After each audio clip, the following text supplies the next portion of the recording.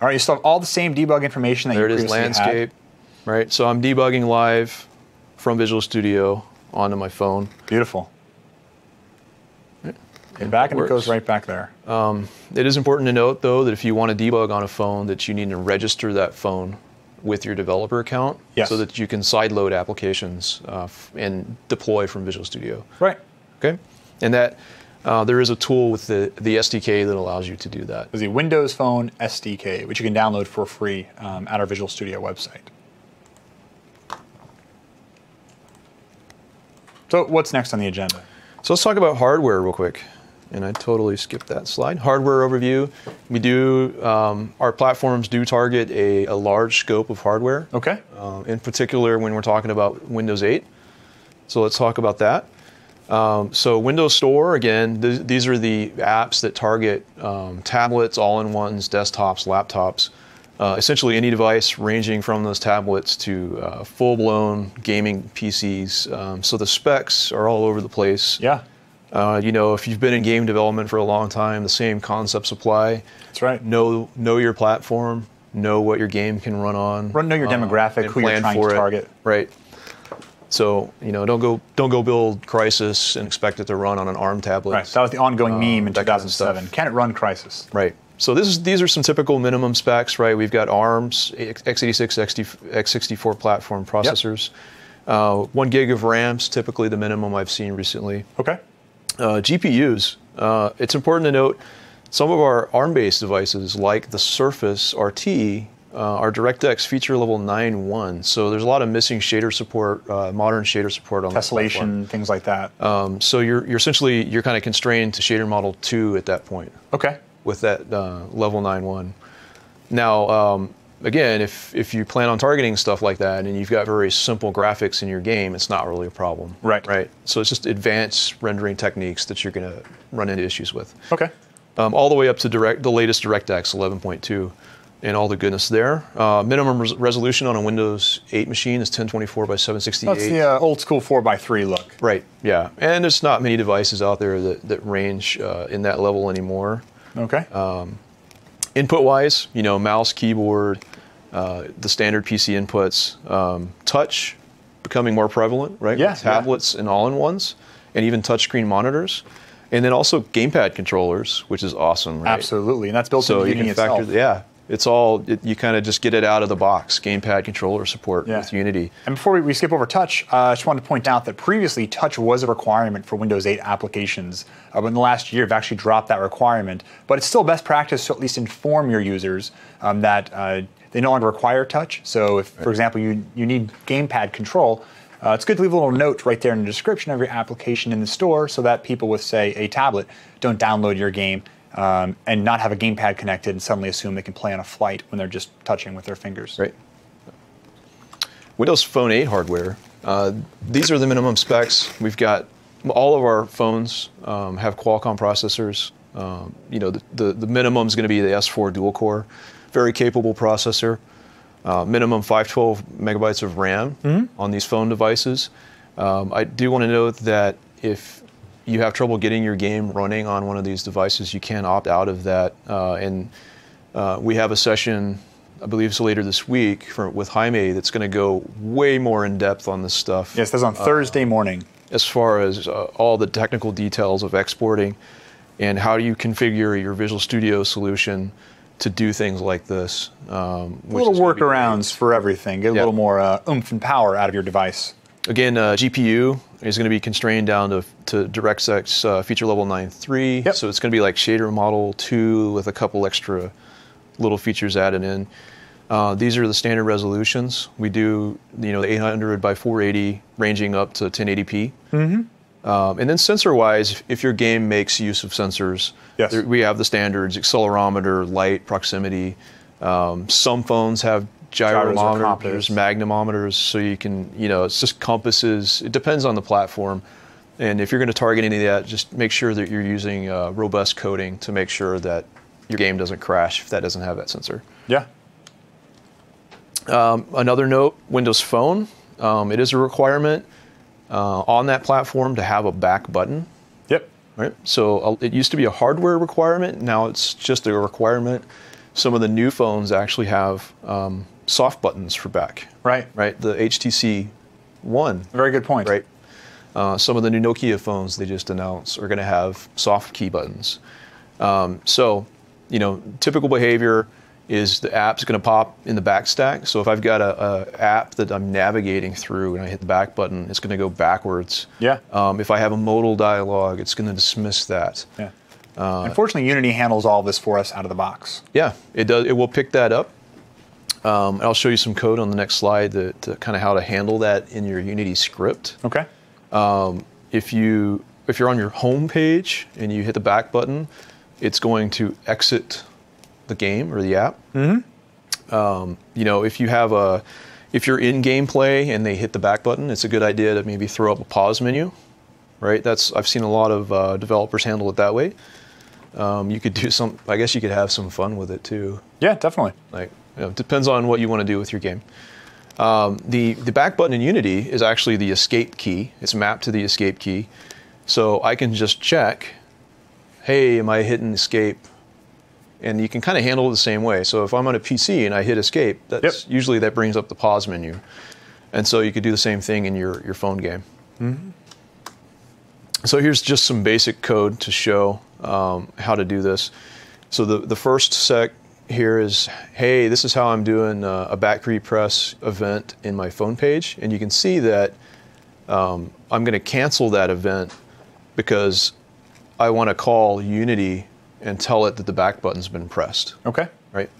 And so in your update or wherever you handle input, yeah. Uh, you can get the uh, get key down state for escape and if it's been pressed, I can handle it there. I can quit or I can uh, pause my game, whatever I need to do um, that fits my game.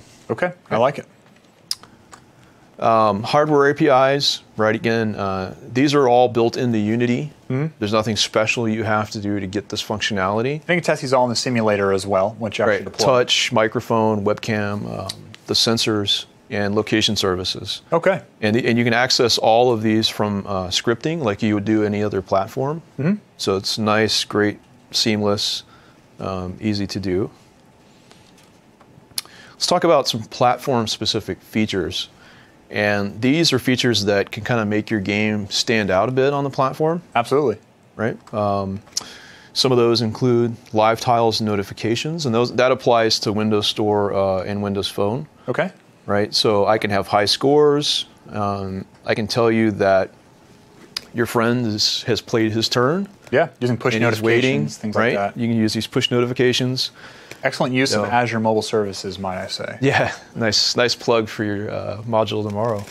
Um, you know, make a good splash image for your game. That's going to be presented every time your game is launched, right? No matter what. Mm-hmm. Um, contracts so setting charms, uh, share charms, these are all those Windows 8 charms yep. that kind of pop out on the right hand side as you mouse cover your down, mouse.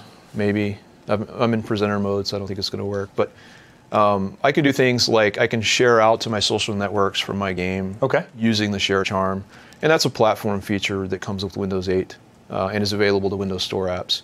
Snapping.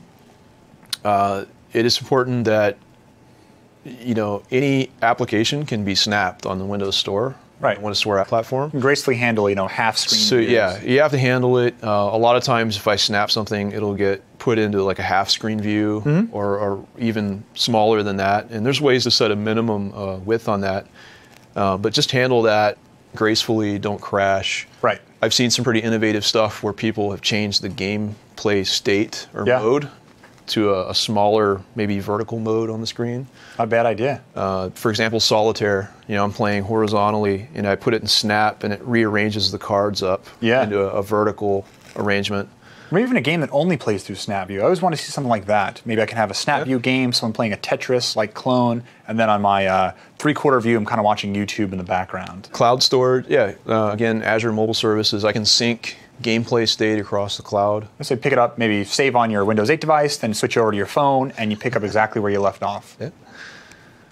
Uh, Windows Phone, a lot of the same things. Uh, back button, make sure that's handled gracefully. Uh, that's a, that is a, a platform uh, feature that users expect to work. Uh, live tiles notifications again, um, a good splash image for my game. Uh, launchers and choosers. These are things that are be able to pick photos, uh, launch websites, um, good monetization models, uh, and then screen recording. I can take screenshots of my game, Okay. share it out. Um, you know, some some of the newer services that let you record clips of your game and share. Not a bad out, idea. right? Stuff like that, and, and, and that applies to any mobile platform, really. Okay, so it sounds like it'd be a lot of work to to get a lot of these going on our platform. Um, so there's got to be a better way, or, or I mean, has someone come up with some sort of tool or, or plugin for us to use? Not? Prime 31, right? All right. It's a great, yeah. We can plug the Prime 31 plugins again. Uh, again, free. Download at prime31.com. Good for the next year. Go to the plugins page, and you can uh, pick Windows or Windows Phone and download them. Yep. Uh, here's that. And coming around the home stretch, we only have a couple of things left here. $400 plus. Yeah. Okay. And let's talk about plugins real quick uh, and what that architecture looks like in your assets. So when you're adding plugins for the Windows and Windows Phone platform Yes. in your Unity project, this is what the folder structure needs to be. So assets plugins, that's a standard in Unity. Right. Right. All of the plugins should be there. Um, if I'm targeting Windows Phone 8, I've got a WP8 folder. Um, for universal apps in Windows Phone 8.1, I've got Windows Phone 8.1. Uh, for Windows 8, I've got Metro um, or Metro Win 8.0. Yeah. Um, and the, this is all new if you've done anything before. Right. This is stuff they've added in recently. Uh, and then again, for Windows 8.1, I've got Metro or Metro Win 8.1. If, Yeah. if I need to discern between the two versions of Windows 8, I can do that within the Metro folder. And to be clear, it's Unity that requires us to have these uh, Right, this, this naming scheme because it's specifically looking for a plugins folder and then specifically looking for a plugins slash WP8 folder. If you name it anything else, it's not going to know which platform it's for. Yeah, and most and the plugin vendors are really good about Yes. when you install and import into the, your Unity project. They they map out this folder structure um, at the installation. So uh, it, this is here more for informational debugging purposes in case you run into any issues, uh, or you need to manually update your uh, your plugin DLL um, later on.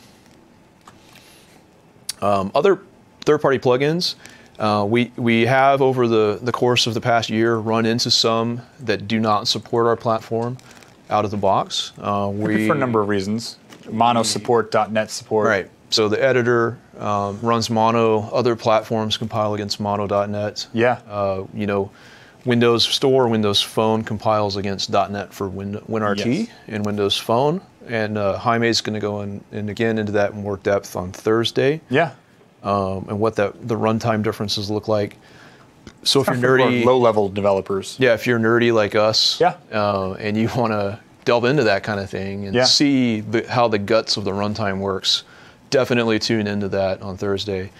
So th- I think it's actually a tool to help us really discern what will and will not work on each platform. Yeah. iOS, Android, Windows. Xamarin's good. Yes. Yeah. Xamarin, scan.xamarin.com. They've got a great tool to upload a DLL and select your target platform. And hey, is this API set compatible with that platform? How mobile is your .NET, right? Will it Yeah. work Yeah, everywhere, exactly. or will it just work on these specific platforms? Yeah, and that's it's really great for that. Thank you, Xamarin, for publishing that out on the web. I've used it many, many times. Yep, you Uh, can look at uh, executables or dy- dynamically linked libraries, DLLs. Yep, and so I, I've used it many times. As have Uh, I. I will say the the plugin library is growing and growing and getting better. Yeah. Uh, if you run across one that is not working for you, please again reach out to uh, an evangelist at Microsoft, and we can engage those developers uh, and get them working on our platform. If it's something you need and you're working with one of us, definitely let us know so that we can address that. Loaner devices. Let's talk about that. Okay, I like free hardware. Yep. So, uh, I need a little bit of wording here on the first bullet point. Your local evangelist can likely loan you a developer device. There are no guarantees in world. It depends right? on what region you're in, what part of the world you're in. A lot of moving parts to that. how many are available at that point. Yeah, how many are available? Yeah. Right. So uh, the best way to find out is to find your local evangelist. We've got this great directory on MSDN that helps you do that. I've got the link here, aka.ms find my evangelist.